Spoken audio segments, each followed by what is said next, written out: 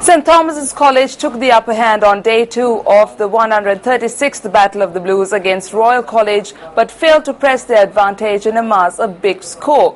When rain halted play at the SSC, the Thomians were on 182 for the loss of one wicket after 66.3 overs.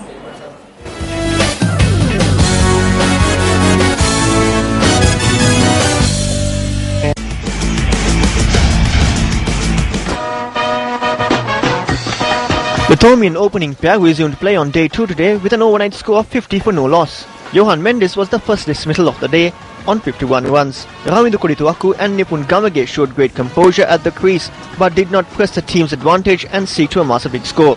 When Wayne halted play in the 67th over, Kodituwakku was unbeaten on 88, while Gamage was not out on 26. Batting in their first essay yesterday, the Royalists were bowled out for 199 runs.